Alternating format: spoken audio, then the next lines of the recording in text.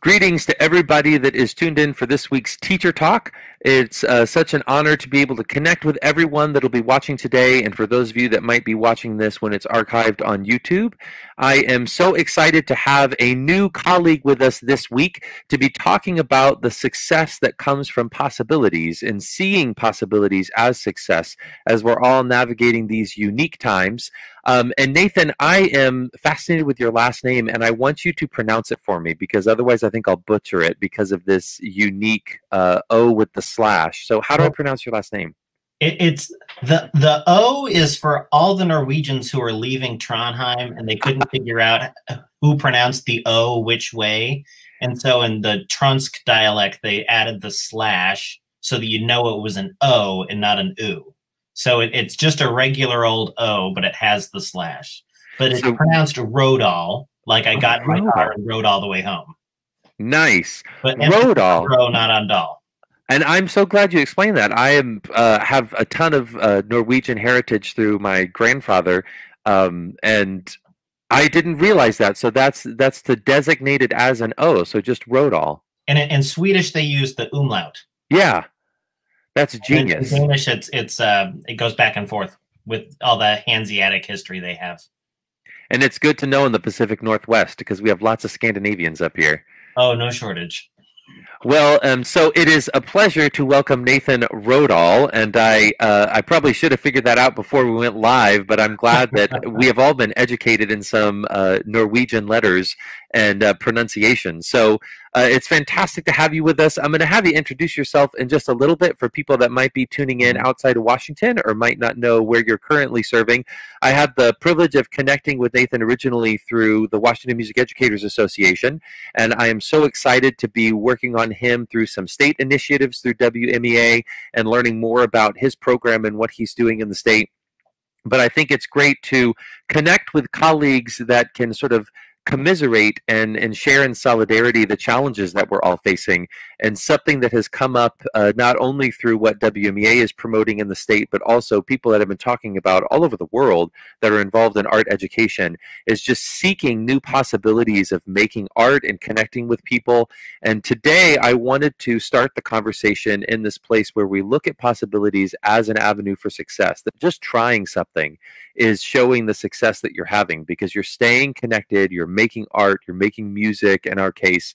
Um, so I wanted to, to explore that, but then of course, like we do in all of our teacher talks, allow the conversation to mature wherever it needs to with important topics and, and things that we need to be considering. Uh, for those that might be watching for the first time, Teacher Talk started as a, uh, just a way for me to stay connected to my own students.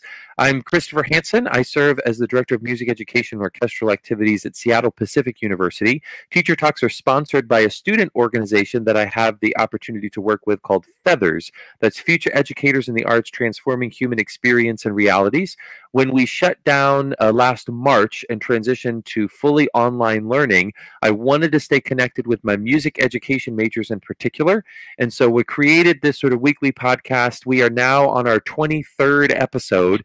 And so it has gone on longer than I thought it would, but it's created some incredible opportunities to connect with musicians and educators people that are in administrative roles uh, in nonprofit organizations and public schools all over the world and helped me personally gain some really important perspective on how everybody is navigating this global pandemic, the social justice issues that have come to the fore recently, particularly in America. And so this has just been a, a really amazing platform. I feel so blessed to utilize technology to connect with people and discuss these things. I want to make sure, especially those that are watching for the first time, that teacher talks are not necessarily about providing uh, answers or solutions to you know definitive problems, but kind of the opposite. It's about sharing ideas and solutions to unique problems that some of us are facing, or answers to unique questions that some of us have posed. And through that, I hope that we can mature and nurture a dialogue amongst colleagues that will you know, benefit you or others so I don't want anyone to assume that things that are suggested or talked about here are necessarily going to work everywhere. Again, it's, it's not about finding the silver bullet to our problems, but it is about discussing some of the challenges that we're facing. And through that dialogue, I think we can find these possibilities that, that mature into the success that we're having in different areas. I also think it's great to just connect with colleagues and celebrate some of the things that they're doing. Uh, everyone has become wildly innovative and are doing such extraordinary things. They may or may not work for you, but I think it's always good to reach out to people and say, hey, I see what you're doing and I think it's amazing and I respect it and honor it as an opportunity to stay connected and continue to make music with our students and with our colleagues. So uh, Seattle Pacific University is a Christian institution, and I do like to start with just a brief moment of prayer and reflection. Whatever that means for you, for those that are watching, I just encourage you to take this moment to find uh, some solace and to be appreciative of these opportunities that we have, particularly this one, to utilize technology to stay connected. Please join me as you feel comfortable. Lord, thank you for this day and thank you for the resources that you provide us to continue to serve each other as colleagues and our students and communities through the arts.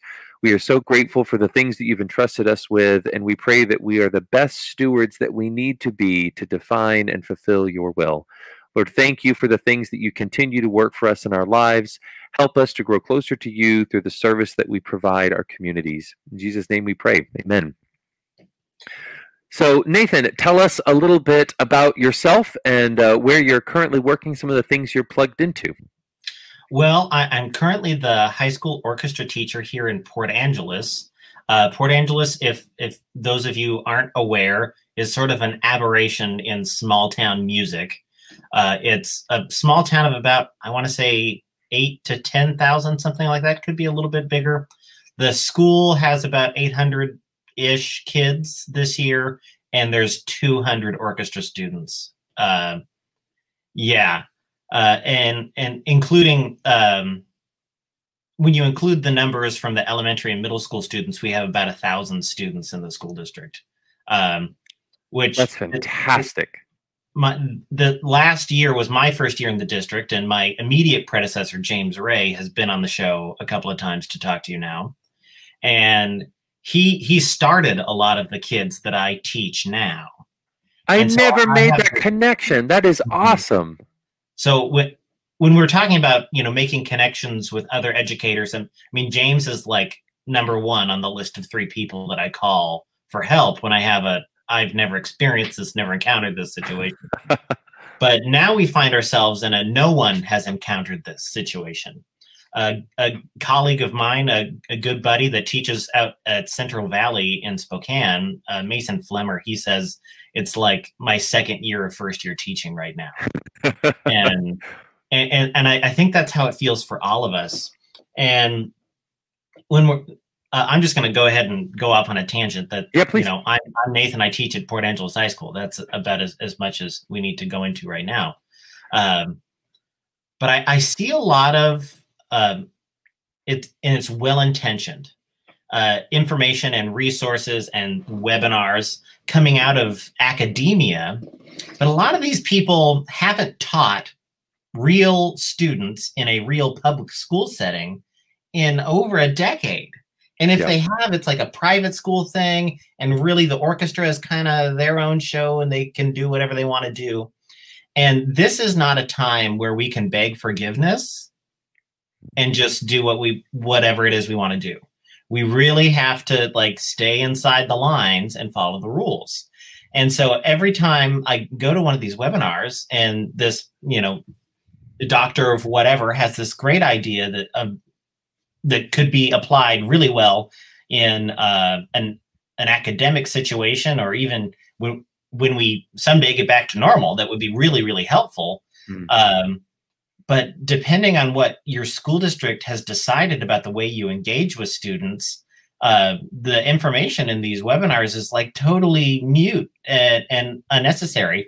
And the one thing that I, I, I really need help with, I think we all need help with, and is the one thing that for sure, no matter what your school district situation is, that we need to focus on is how to make contact with a student, whatever your restrictions may be, and and help them to continue to identify as an orchestra student. Yeah. How do we do that? Because rehearsal, I, I don't know what that's going to look like. I have no good answers right now. I have asked permission to get, you know, can I have four kids in the auditorium with me out in the audience because technically the audience is a separate room, so that's still one under the maximum if you wanted to add a bass player. Mm-hmm. Um, and we could rehearse. Maybe the, I have five groups that meet a week, and maybe everybody out of all of my kids gets to meet once a month. Yeah. Uh, which is not ideal, but it's better than nothing. I, that's just that's the best idea I've got right now with the restrictions on top of me. Um, and we we talk a lot about the silver lining of the situations that we can focus on the deep work, the individual technique of each student.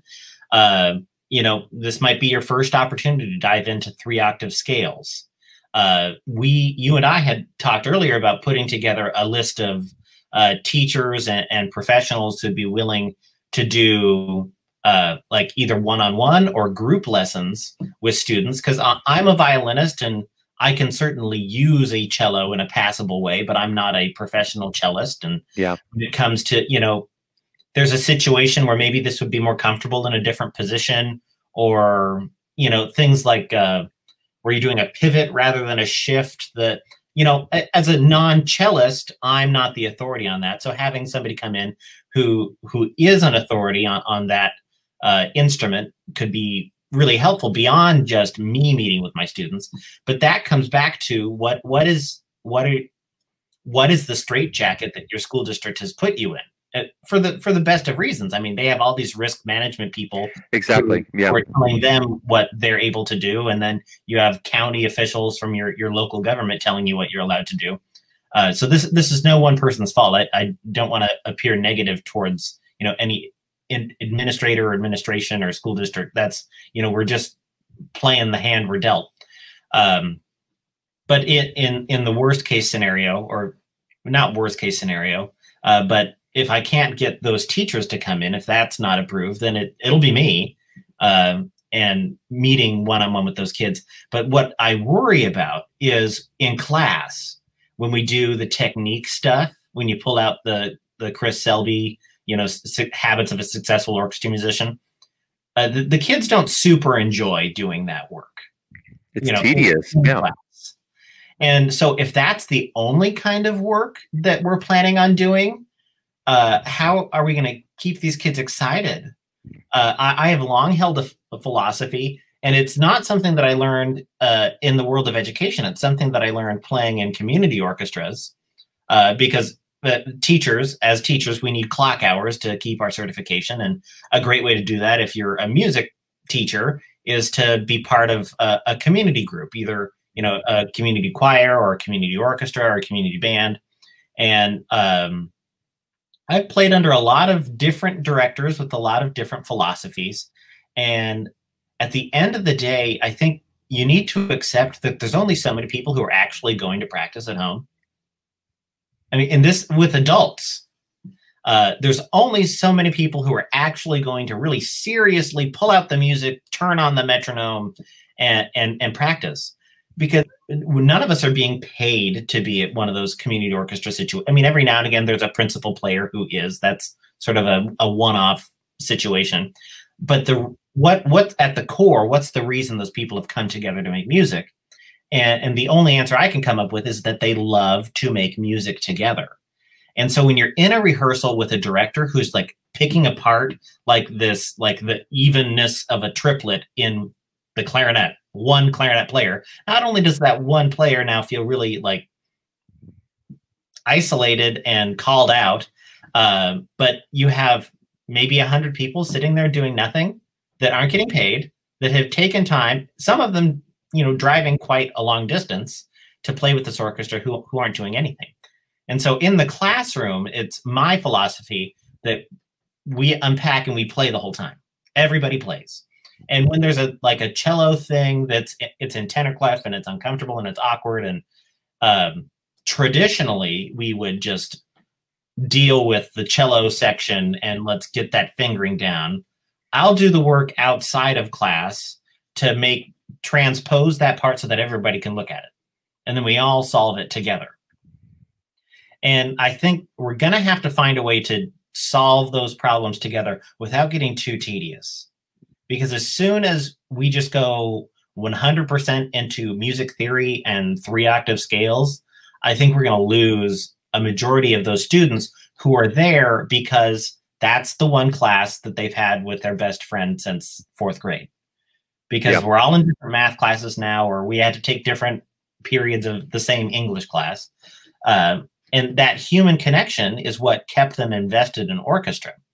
And I don't see a, a ton of great answers right now for how to keep the students uh, not just engaged, but self-identifying as an orchestra student and and drawing uh, security in themselves from that identity uh, in, in the formats that we're proposing. A- and I want you you've talked to more people about this than I have. I, I wonder what uh, is bopping around in your brain when I'm talking about this. You, you're hitting on so many amazing things, and I'm glad you're bringing them up because I have to. I want to tread lightly because I never want someone to assume that my experiences or observations and the things that I share are meant to be uh, sort of condemnation of their own work or judgment towards the things that they're trying. Uh, but I, you know, all of that being said, uh, you know, I, I use that preface as a way of saying I do see issues with the system in in which we educate educators and we prepare music educators, and it is frustrating to say the least. Um, I want to work backwards from what you were talking about. So first and foremost, something that I do appreciate, whether we want to phrase it as seeing a silver lining, but something that I think is work that needs to be done, is revisiting our philosophy of teaching music in public mm. schools and why mm. are we doing it? And Yeah. if you know, I was actually just talking to my partner about this yesterday that I've talked to a few colleagues that have appropriately been frustrated because the way in which they were taught to teach, the way in which they have led their programs was completely based on performance and festivals and competition and concerts. And so now that that's been taken away, they really don't know what to do.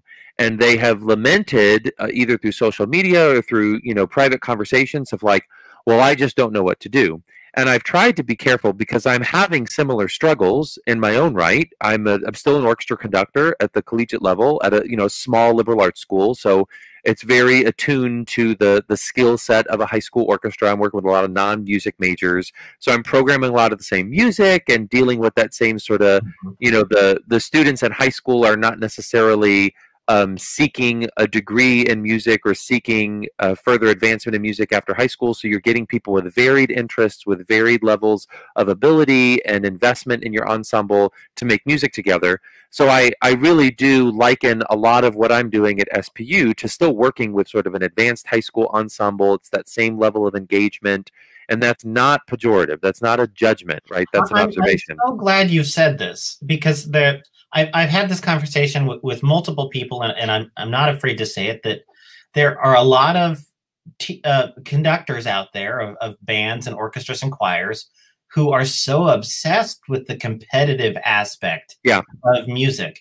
And in the annals of history, when it's all over and, and you're you're nothing but bones and dust, nobody is going to care that you were the best junior high band director. It doesn't matter, like the impact Yeah. on.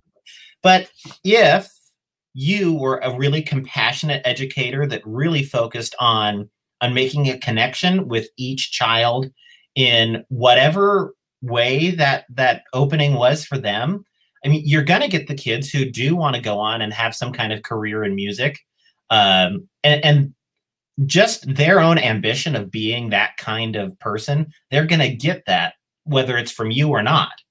Uh, but the 80 or 90% of the rest of the kids who are there just because their friend is, or because they liked orchestra in fourth grade and now they've been doing orchestra since fourth grade. Uh, and it's our job to kind of nurture that relationship. And orchestra or music is just the medium. But the, the really Yeah. powerful opportunity we have is to train young minds to be good people that's what we're really teaching. Music is kind of the side gig here. I mean, the music Well, is the medium through which we train young minds. I think the real challenge is, and this is what I get at, you know, you have to contextualize the ensembles that you're working with, or i i- to translate that into broader terms, you have to understand your classroom. You know, Mhm. who are the students that you're serving? And I say that because I do believe that teachers are are public servants, Mm. and I think we need to be more connected to our community. So I'm bringing all of this up to get to one of the original points that you made that when we're looking at the music teacher preparation programs, when we're looking at the education that we give future educators, there really is a disconnect. I don't get frustrated with educators that I meet that are completely focused on competition and performance and travel because that didn't come out of thin air. You came from an education that taught you that these were the things that were important significant whether that was an education that you received at a university or it was an education you received through your student teaching experience or internship or it was something that you experienced the education you received when you were in secondary school mm-hmm. and plugged into your music ensemble at some point in your life someone taught you that this is what makes success in a music classroom these are mm-hmm. the things and we so quickly detach ourselves in general, from from my observations, mm-hmm. we detach ourselves from being educators of human beings, and we we start to build this ivory tower on our campus of well i'm the band director the choir director the orchestra mm-hmm. director the theater instructor the dance instructor i've challenged a lot of colleagues with this you know when someone asks you what do you do is your response well i'm the orchestra director. Are you immediately segregating yourself by subject or do you say well i'm a public school teacher. Can you wear that badge with pride? And i'll steal a quote from bob phillips who's you know an incredible pedagogue you teach pedagogue. in front of you? Is that the teach quote? the yeah teach the child in front of you. And i've i've stolen that from him and modified it to an extent to say teach the human being in front of you. Yes and you know bob always pushes he he created that sort of catchphrase to say you're not teaching the students that you want in five years as you're building your program. You're not teaching those incredible students you had two years ago that you lament graduated. You're teaching the people right where they are in front of you. And uh, you know Harry Wong and all of these great educational philosophers and pedagogues have told us it's about meeting students where they are. It's about starting where your students are and everything that we see in in sort of popular educational uh, professional development and the new pedagogy that's being promoted is talking about growth. It's about tracking growth and trying to appreciate this is where we started and this is where we end up. And that affects how you do assessment that affects how you you do instruction that affects your classroom management. So if we peel back the layers and and again one of your original points of a lot of the the university professors that we look at that are teaching future teachers haven't been in the high school or middle school or elementary school classroom in over a decade and those classrooms are wildly different yes the higher ed in general is completely consumed with pedagogy. And I mm-hmm. think that's part of the, the problem if if we're identifying it as a problem, because again, I don't want what I'm saying well, to sound it, condemning. It's contextually relevant. Yeah. I mean the the like the uh, the, these textbooks we're referring to, and, and, and we could list names and we could list other books, but it the the teaching that pedagogy to uh, aspiring teachers is, is important from the context of this, like how scope and sequence works, mm-hmm. and and how you should structure a, a unit of study, and you know don't just show up and rehearse you know actually have a plan. What are your goals? And how are you going to achieve them? And how are you going to measure them? These are important things. But it, it it's sort of like uh, getting ready for the olympics or something and you get out on the diving board and all of the advice that everybody's been giving you you can't remember like that's what it's like to be in the in the classroom for the first time without your mentor teacher there is you know all of these books that i read and like they don't matter anymore because i've got a kid who's screaming at me about i don't know and i've got two girls over here fighting and i've got this other group of kids that just kind of want to play some music and i've got to find a way to get put out all these fires at the same time and then maybe get to some music which is what i was taught to do in college. And to some extent i was taught to you know de-escalate situations and, and know what to expect from you know intense behaviors from students. Uh, but I, I, openly say that my junior and senior year of college would be have been just as effectively served uh, full-time student teaching I would have learned much more that way. Well, Yeah, and the I think the biggest issue is, and this is how how academia works in just sort of Western culture, is that we want to specialize. We want to segregate ourselves into disciplines, and therein lies the problem. I tell all of my music ed majors um, who can attest to this. For those of them that are watching, I tell every freshman that comes in, you have to know that you are a double major. You are a music major and you are an education major Mm-hmm. You are seeking two different degrees in different disciplines that we have to marry. And I think mm-hmm. that becomes the problem is that being a music major, you learn music history, you learn music theory, you start to learn, depending on your discipline, and usually music ed, you learn pedagogy. And that's where we, we get mis, misunderstandings from my perspective more often than not, is that what we teach music education majors is music pedagogy, how to teach music. And some of those things are arguably universal. Um, mm-hmm. If you're going to do rote versus note, right? Like there's room for debate, but you can talk about that. Uh, in string pedagogy, you know, are you going to start your curriculum pizzicato or are you immediately going to start with the bow? Are you going to utilize and, the fourth finger right away or not? Bob Phillips thing of you teach the student in front of you. Uh, that I, am involved in the the uh, National Association for Music Educators, there's a, an orchestra council, mm-hmm. and Beth Fortune, who teaches in, in, Ballard, invited me to be on this council. And one of our other members, her name is Sarah Gulish. She teaches somewhere in Pennsylvania, I believe. And and she is someone who was not a string player originally, and and was uh, brought into a a strings situation in uh, I I I believe a predominantly black community and the Western model of preparing string music was not working for her. And so she developed this whole other thing where the kids are kind of composing their own music. Yeah. And the performance doesn't look like we sit in this arch situation with a conductor waving a baton, uh, because you you have to meet the student where they are and teach the person in front of you. And if the Western model of we you know, I stand on the podium, you sit in that chair, and we're going to go through Eine Kleine, and I'm going to teach you how to shift to third position because that's how my teacher taught me. And uh, when we were doing this solo, that we play this measure on the D string because that's how my teacher did it.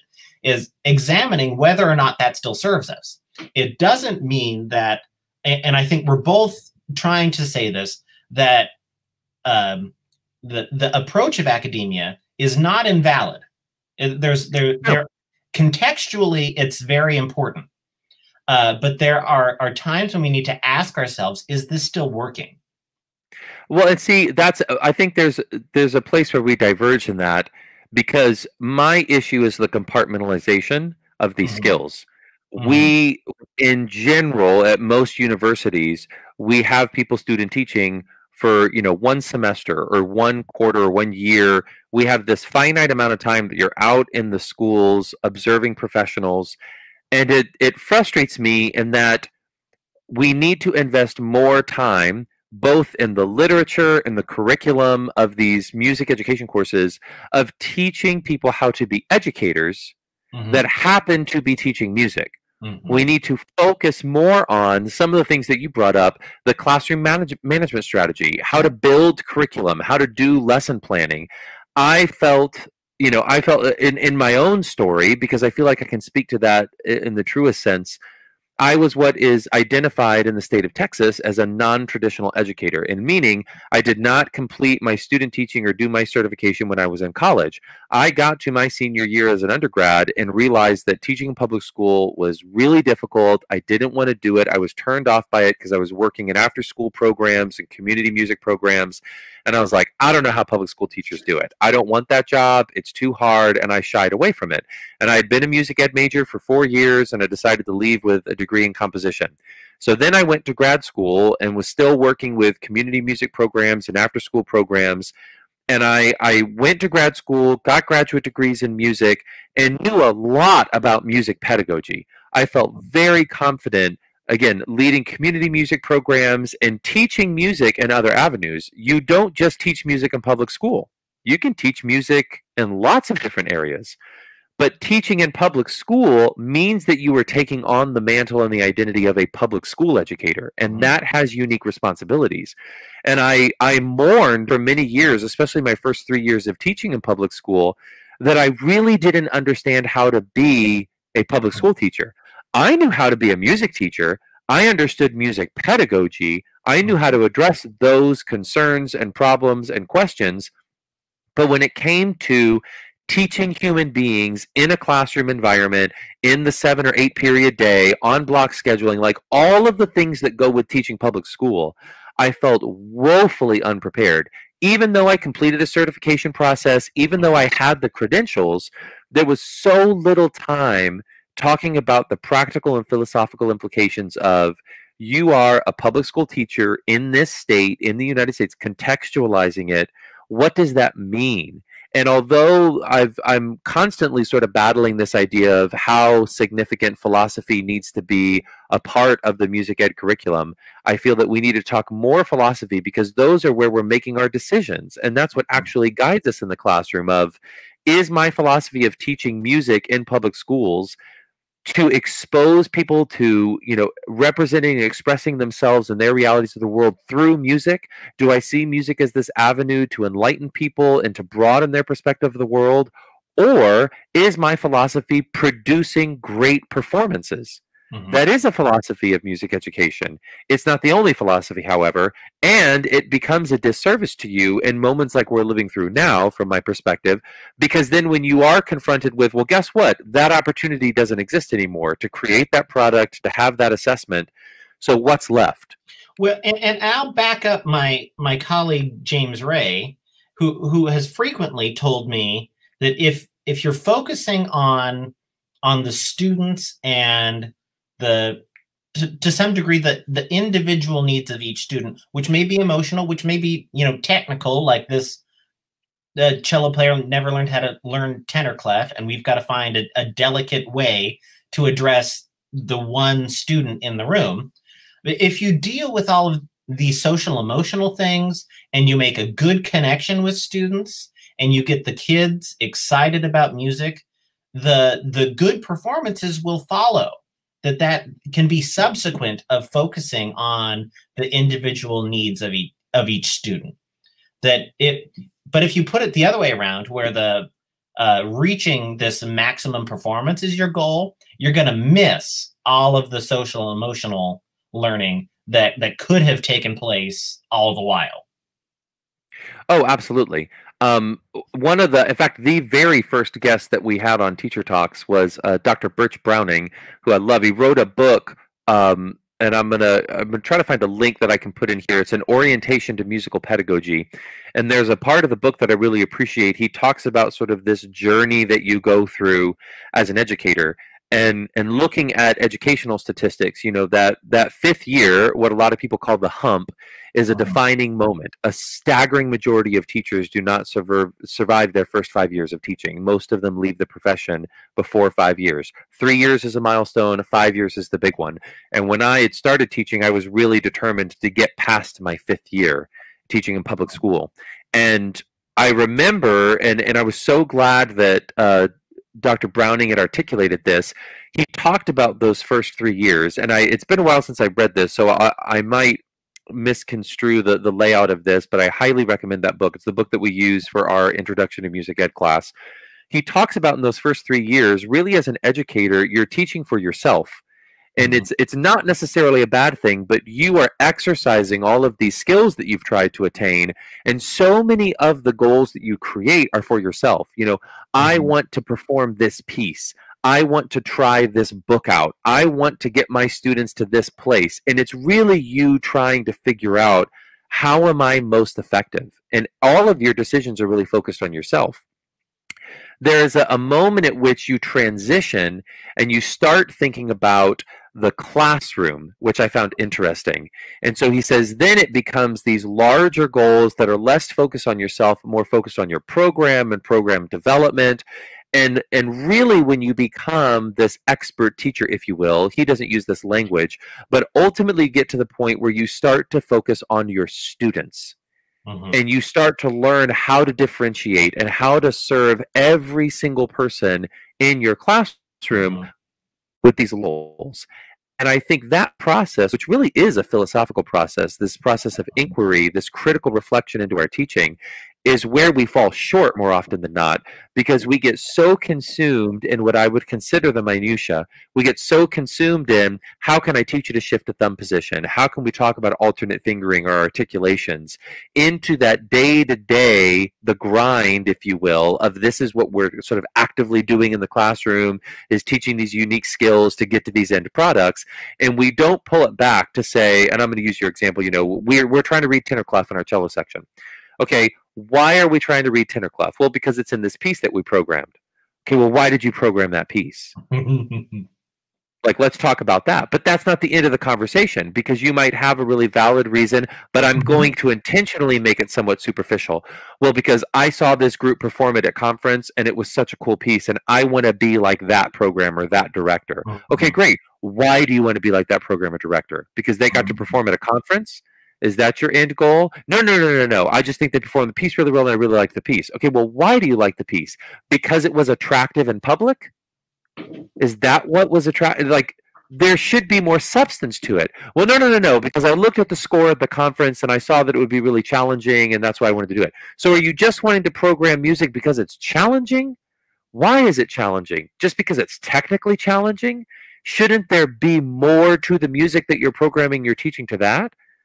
Like, is it just because? Well, no. You know, if you could scale it back within a critical conversation of your teaching and say, I have these pursuits of performing this piece that I've been able to contextualize in our curriculum with social relevance and cultural relevance, but I know that we're not going to achieve that piece until my cellos can play in tenor clef and my second violins can play in tune in third position and my first violins can play in fifth position.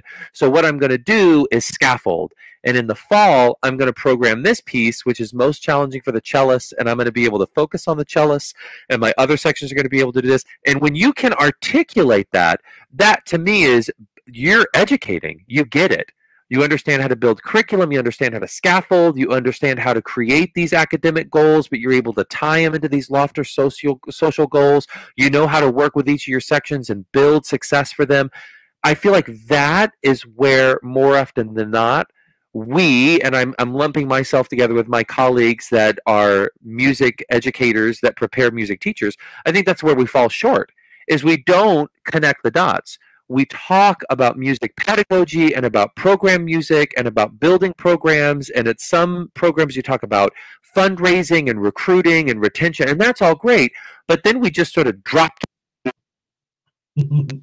School of Education to talk about scaffolding and differentiation and serving every student all this and we we created as passe. And forgive me for my increase in volume and tempo in my speech. You can tell I'm getting a little heated because it really upsets me because I don't feel more often than not and there are absolutely extraordinary exceptions but from my experiences as an industry, as a music education industry in academia, I don't think we're preparing music teachers to be educators.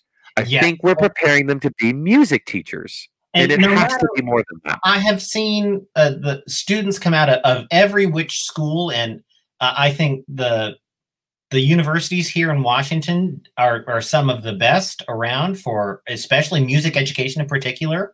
Uh, between Pacific Lutheran University, where, where I graduated, and Central Washington and Western, and, and certainly SPU as well, uh, are doing a good job of churning out educators who want to go out into the world and make a connect a real human connection mm. with students as, as, a primary goal uh, but to back to your point about the first three years first five years of teaching is there are just things that you are only going to experience in the classroom.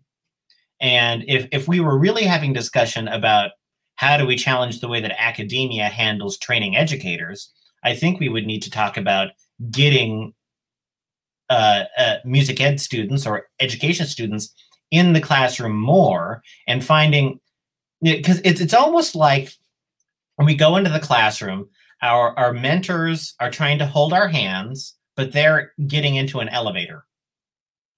You know. Well, no, actually, I would I to pause you there.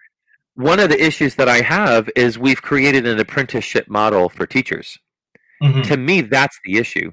Um, I you know I made I've, I've shared this a couple times on Teacher Talk. One of the reasons that I made the leap from teaching high school to teaching college was I, I wanted to incite change in music education, and I realized it's going to happen where we're training our teachers. Mm-hmm. You know, mm-hmm. I, I recognized my own deficiencies as an educator and I recognized the challenges in the system. We do teach in a system, a public school system. I recognized the deficiencies in the system and I was tracing it back to my preparation in college. I was mm-hmm. taught to think this way about education. I was taught to view it this way and problem solve this way. So I wanted to be a part of the solution. And for me, the solution resides in how we are training teachers. And so yeah. I've I made a very conscious decision to make that leap and to go into that area.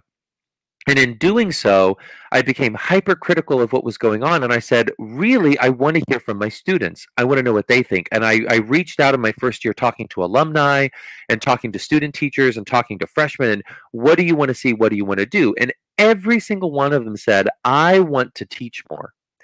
And I recognized in building my courses in my first year that I was already perpetuating what it is that I wanted to change. All of my syllabi were this apprenticeship model where I was the expert. I have taught in public school. I know the answers, and I'm going to share my experiences, and you're going to take notes, and you're going to reflect on my experiences, and you don't get to teach until you go to student teaching. And I thought, wait a minute. And I, I immediately tried to flip that, and it was very eye opening to me. And forgive me because uh, this is going to sound so judgmental towards my students, but it, it was uh, truly awakening for me. I was teaching a, a woodwind methods course, and we were going through it and we had read the book and they were had their instruments and I was teaching them, you know, here are some things that you can do. And me teaching a woodwind methods class is scary enough because I am a violinist and an orchestra director at heart.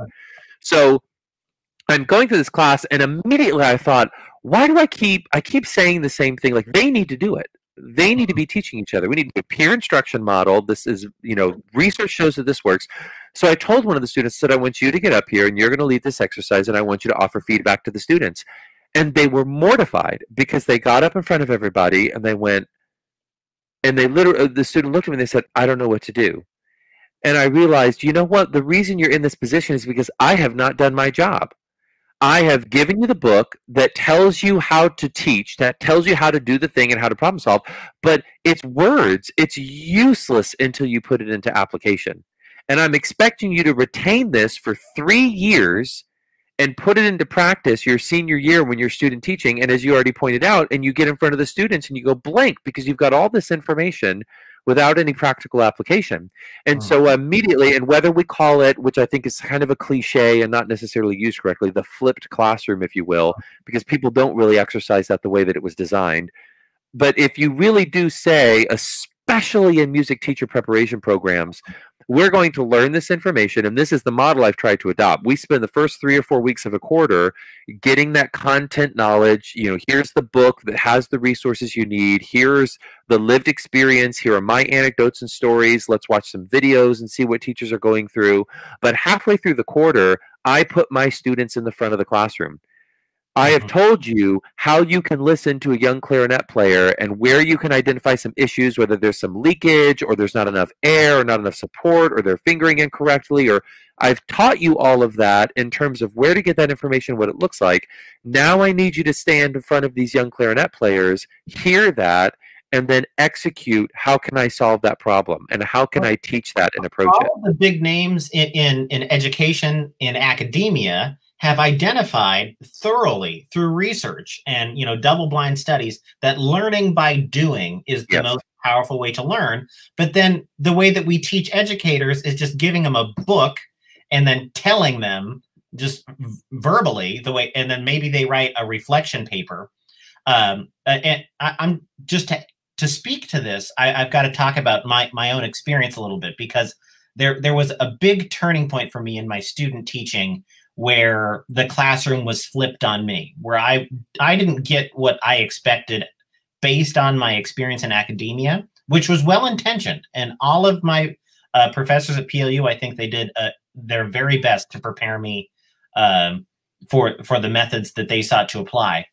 Um, but I, I was student teaching with Paula Ferguson, who is the orchestra director at Redmond High School, and sort of sat down my first day and the first class was about to start and she said Okay, go for it. oh, we have a visitor. Uh, so she didn't. She the, she had picked out the music already, and she just kind of said, "Well, go do your thing." And kind of sat there and watched. And there were a couple of days where it got kind of ugly, where I didn't really know what I would. The same way that a first year teacher would experience being out there on their own with no lifeline.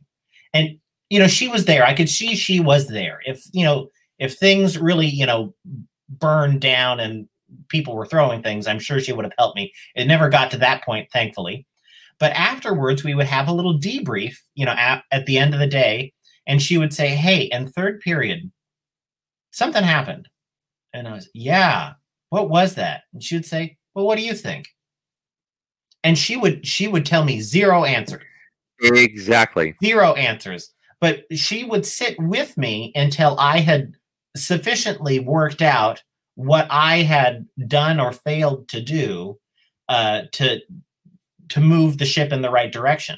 And then the next day, I I, I would have figured something out. And uh, you you you like you're saying, you try things because as a, a new educator, your focus is on the repertoire or achieving some kind of uh, technical achievement goal not on see and that's the issue because that's what you were uh, or i should say I, am trying not to be condemning like i said yeah but it bothers me because that's what you were taught to focus on i think mm-hmm. that to me is the philosophical issue is if you went through this program and you were trained to say what is most important to me is to make sure that you land this you know fingering in tune we're we're looking too small. I mean, we're we're really focusing on something that's too narrow. And I want to stress for those that are interested, um, this was a turning point for me in grad school. I was very grateful. I had a professor that introduced me to a book. It's it's a dense read, but for anyone that's that's interested in doing it, I highly recommend it. It's called The Ignorant Schoolmaster by Jacques Rancière. Um, I'll put a link up here in a second to it. And one of the, you know, spoiler alert, one of the big things that he points out, he he chronicles the the work of an educator named Joseph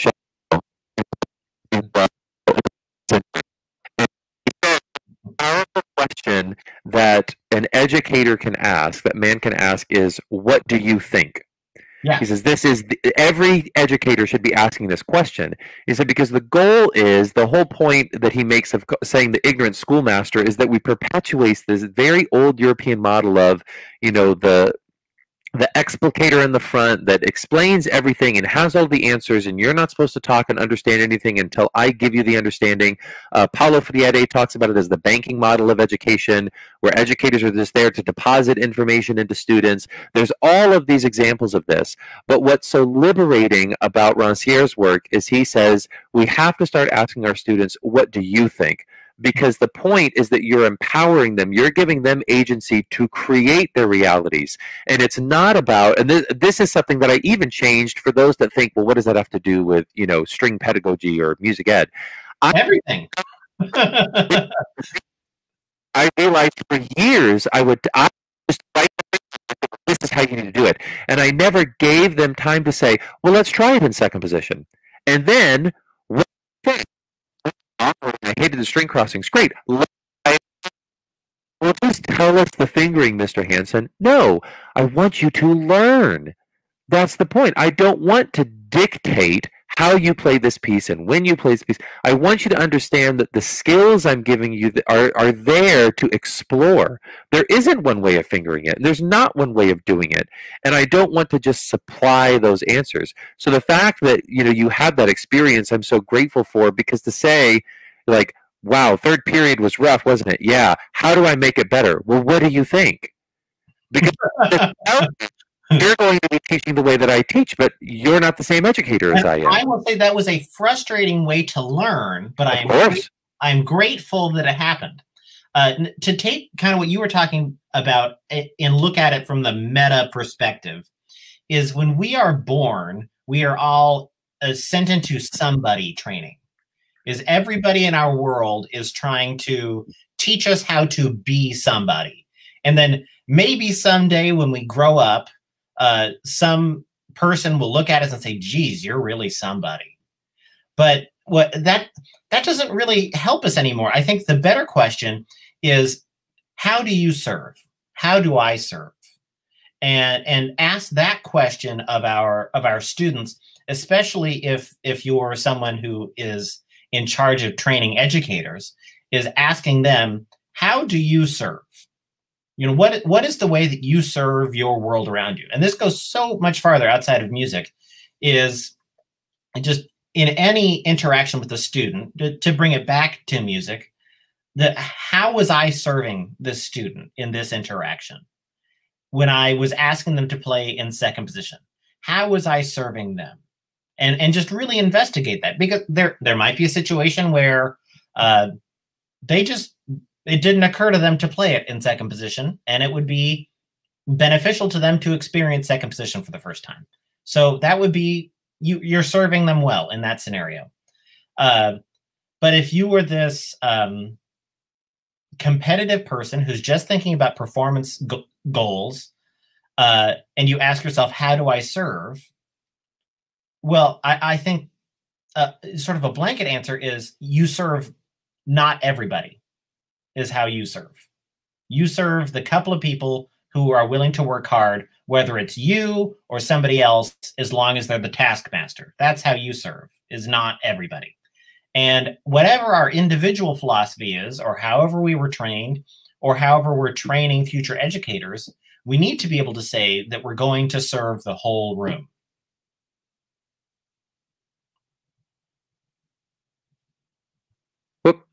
Sorry, I'm able to balance my my mute button. Oh, there you go. And I love the fact that you're employing this verb to serve because, again, I don't think it's also, I mean, oh, I think this is worth bringing into the conversation at this point, and we hinted at it earlier. Um, one of the reasons I wanted to contextualize my role as an orchestra director at SPU is, and I and I struggle with this. I'm putting myself out there to be honest. The this like mystique, you know, of the the mm-hmm. ensemble director or oh my goodness you're a university professor i have i have struggled to make sure that in social engagement that i try to introduce to people you know oh what do you do i'm a teacher mm-hmm. i i don't you know i am i am proud of the things i've accomplished and i'm so blessed to be able to serve at a university and teach future educators but i i struggle with this sort of social mantle of like well i'm a university faculty member and so that means something. No i don't want to lose being a teacher because that's really my job is to still be a teacher. And wherever you're teaching um, my my mother actually had this sort of rude awakening when I got this job and forgive me I'm being I know that this is somewhat crass uh, to talk about this publicly but people that know me know that I really don't have any secrets.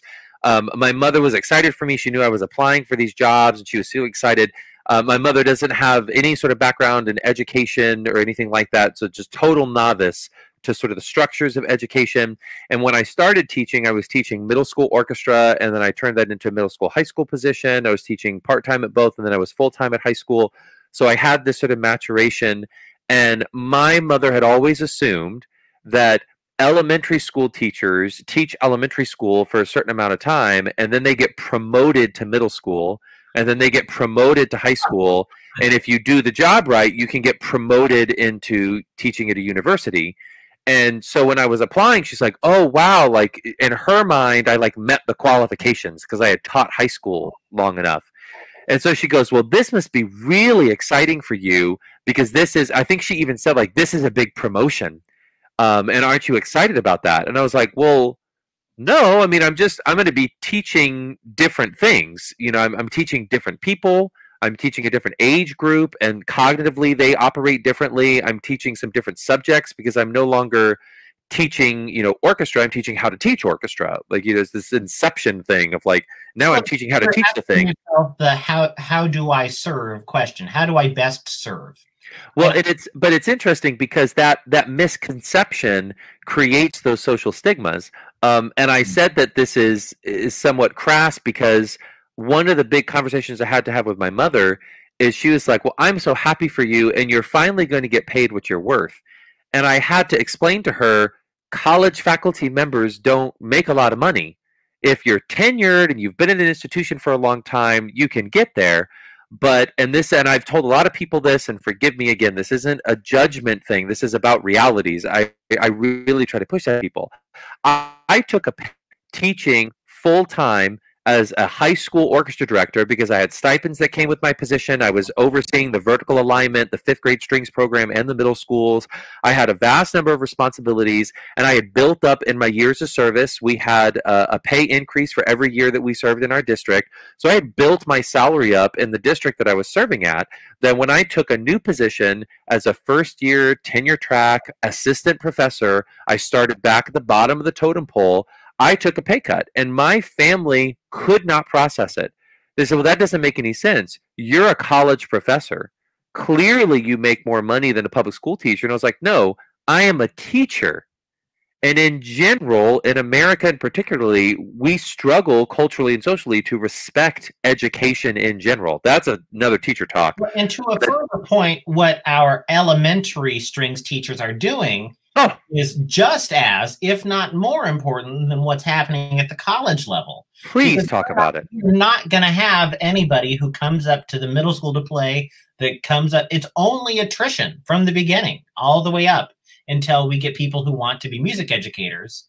You know, when we in Port Angeles, when we start with, you know, a vast majority of all fourth graders do strings, that number isn't going to go up by the time yeah. they get to high school you know and and we've we've got to find a way to retain as much as possible. Yes. But but not focus on that in a way that i'm going to bend over backwards to keep every kid. Because there are people who if we ask ourselves uh, how do i serve? And how do i best serve? And how do you best serve yourself and your community? is there are some people who are meant to be in band and that's yes. fine and there are people who are meant to be in choir. And there are people like me who are meant to be in choir and orchestra. And and there are people who are not meant to be in, in orchestra, and there are people who are not meant to be teachers. And if and this is a, a philosophy of mine, if you get to the end of high school and no one has asked you what you want to do with your life, we have all failed you.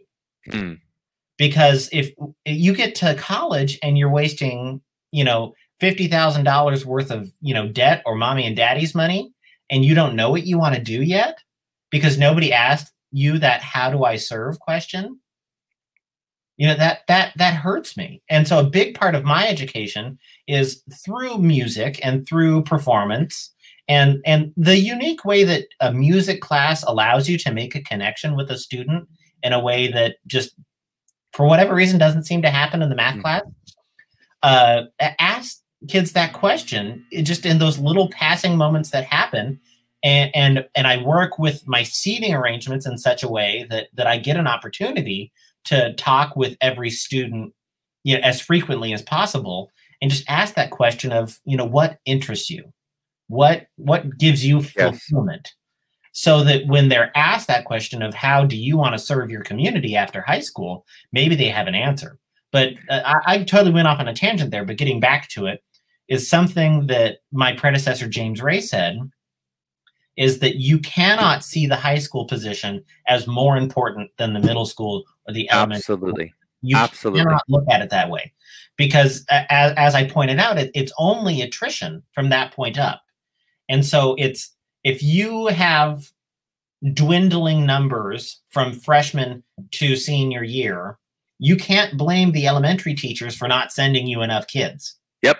You know, if you got a, a hole in the bucket, you, you, deal with that and patch the hole and, and find a way to to work it out. But uh, college professors and and high school music teachers, we really need to look at our our feeders as as equals, if not betters, because the work that they're doing in many ways is more challenging because they're dealing at, at, high school. I, I only have the kids who want to be in orchestra. Exactly. they have made a choice. They have committed, and they did that. They made that same choice in middle school and high school. They doubled down. Uh, the elementary people, they got kids who just showed up. Well, I. Thought it might be fun. Or the parents want them to be there. Exactly yeah. And that's a whole different conversation is mm. the parent who forced the kid to be there is how do you speak to their spirit and and get them to feel empowered by music, even if they don't feel empowered by the instrument their parents forced them to learn. Well, and I wanted to, to before we leave for today, I can't believe an hour's already passed. Um, I wanted to return to that. Yeah, can you believe it? It's it's amazing.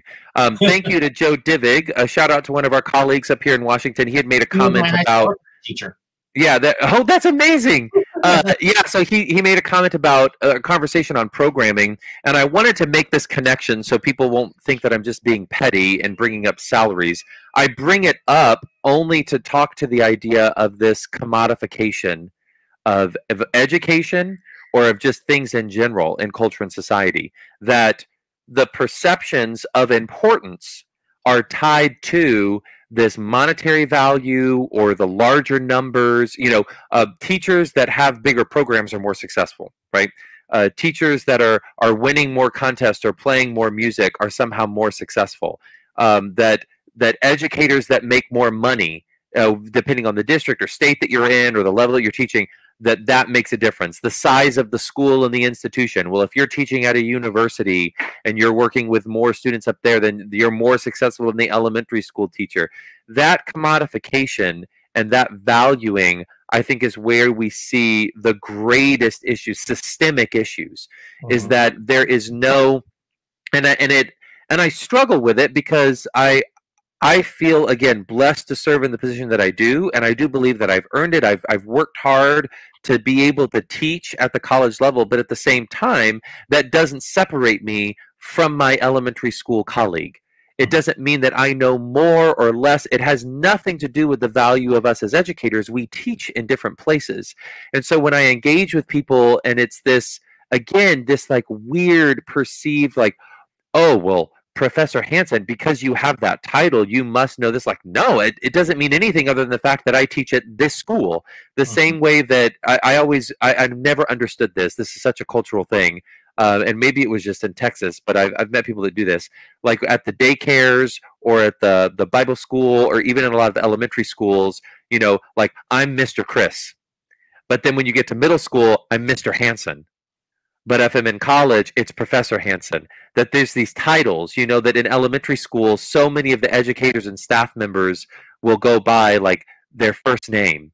And the, these weird little things that we do to try to devalue whatever grade you're teaching or what level you're teaching at, when we pull back, and this is hopefully to go full circle in this conversation to where you started us, Nathan, of that, of having the service mentality and teaching the people in front of you and humbling yourself to know this isn't about my goals. This is about how I can lead people with the skill set that I have as an educator to a better place than they were than when we started. Well, and and that I, I just want to put a bow on it. Of I, I went over the comments and I, I read Joe's little comment. Is especially with the younger educators with the repertoire, and and I am definitely guilty of having made repertoire mistakes many times. Uh, Same. Is we if you meet the student where they are and be realistic with where that is, they're going to be more successful. And this is something that that I, I think I quoted James on once already, but not so eloquently, is that if if you give the students an achievable goal, you can have high expectations. If the goal oh, wow, yeah. So if you give a, a student or uh, you know a, an, a young educator in training a realistic goal of something that it you know it's a slam dunk it's going to happen then you can hold them to these high expectations that uh, the people at the competitive level hold their students to. But you've got to set that achievable goal first. And when we're looking at ourselves and what this next school year is going to look like i think we, we need to to some degree apply that to ourselves and to our students of what can we reasonably achieve and do reasonably well? And what am I reasonably able to do and set up for my students curriculum wise and have a little bit of grace with myself of how much am I actually going to be able to achieve and determine what I'm going to do and then hold myself to the highest possible expectation once I've determined what I'm actually capable of doing. And it's so powerful the way you've articulated it, where where again sort of folding back onto a previous point of that's where I believe we need to focus as educators is the sequencing and the scaffolding and the curriculum development because exactly as you said, and I'm so glad that you know James shares the same sentiment. He's been on Teacher Talk twice now. I, I love being able to connect with him. Is it's it's about because most people I think would hear that and assume they're lowering their standards, and that's not it at all. You are creating a goal because then you create the standards that allow you to go even further. Um, and whether you call it, you know, Stephen Covey calls it begin with the end in mind, or there's all of these great, you know, kind of kitschy ways of looking at it. But if you're looking at this end result here's what I want my students to accomplish for these intrinsic for these intrinsic benefits, how can I reverse engineer it? How can I get back to the beginning to say then we're going to need to start here and be flexible in how we develop this year, and and to uh, this is in no way to have the last word, but I, I want to reiterate. I think the the title that I gave somewhat sporadically to this conversation to start us off was, you know, seeing possibility as success. Mm-hmm. And and I think that's exactly what you're describing in this year is that you're going to try things. And the fact that you're trying something has already set you apart. You're not giving up. You're not saying it's not possible. You're going to make music this year, whatever that looks like for you. And it should look different on every campus and for every grade level. And we need to be, in general, I think we should all be encouraging each other more and be celebrating each other more. Not, oh, well, you didn't do a virtual ensemble. Well, then you weren't really successful oh you didn't have your kids meet in person in some way well then you weren't really successful oh you we need well, to stop creating standards out of it. all 800 port angeles orchestra students. They're welcome to do that. Right? You know but it's it, we need to stop creating standards out of the experiments. And i want to say that again we don't create standards out of experiments it defies the definition of an experiment. We're trying things so that we can create new opportunities, and that is success. In in this year, I think and, that is. And not everything we try is going to be a success. Exactly. As long as we are open with the reflection of why did this not work, like Paula Ferguson did with me, is why do you think that didn't work? Yes. And, and be vulnerable with our with the families we serve and the students we serve. Of hey guys, it looks like those of you who engaged didn't like this very much. What can we do next time? What have we done so far that that worked well for you? And an engagement may or may not reflect actual student fulfillment. And you know, whatever measures you're using to assess students will reflect that to, to some degree. Uh, but allowing yourself to to have a couple of failures this year so that you can reach the kids in the way that they need to be reached so don't have, like you're saying, don't think that you have to do a vir- virtual performance. It doesn't work out because the kids couldn't follow the metronome and then feel like now we're not going to do anything the rest of the year. Is okay, well, that didn't work. Why didn't it work? And what about the way that it didn't work might tell me what will work. So the kids can send me videos. Exactly. Yeah. Does work. Or maybe if they can't do videos, maybe they can send you audio it would be really easy to give the kids little tiny assignments of, hey, play measure 12 through 18. Just like, you know, a couple of measures and send that to me. And uh, and if it's just short little snippets, no matter how many kids I have, I can actually give you some pretty directed, specific feedback that I wouldn't have had time for in the classroom. And you know, it's about. I think it is. It's a paradigm shift. I think no one can argue that we're going through this paradigm shift together. But a part of it is getting rid of, you know, the F word, failure. We need to stop mm-hmm. seeing it as, well, I didn't do this thing that I created an expectation of, and so then I have failed. I, I love that you say that. It's not about identifying failures. It's about identifying what works for us and then mm-hmm. what doesn't work. You know, we're pulling on that old Edison quote, right? It's not about just defeating ourselves and saying that we didn't accomplish whatever this goal is that you set out for yourself. If you didn't create the light bulb, you didn't fail. You just found a new way not to create the light bulb. If anything good came out of The Last Jedi, which I think generally was a not very good movie, is the quote from Yoda is that the greatest teacher failure is. I love it. You know what? There's not a better way to end a teacher talk than a Yoda quote. I stand by that. Um, I want I want to respect your time, and I genuinely actually need to go find my son because things are too quiet over here. Um, but Nathan, I can't thank you enough. This will definitely not be the last time that we talk, but I hope that I can bring you to this platform again because this has been so rewarding. Thank you so much for your time. And for, for people that are watching, this is going to be archived on our YouTube playlist. And I want to do a shameless plug, something that uh, Nathan has been involved with, as well as Joe Divig, who provided some comments today. Uh, so we have created what we're calling the Washington Orchestra Network, which is affiliated with our Washington Music Educators Association.